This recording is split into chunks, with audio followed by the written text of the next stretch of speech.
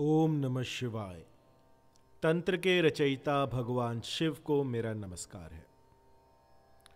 बड़े साधकों की जिज्ञासा है कि गुरुदेव, थर्ड आई के बारे में बताइए कुछ। तीसरी आँख कैसे खोले? इस साधना पे थोड़ा प्रकाश डालें।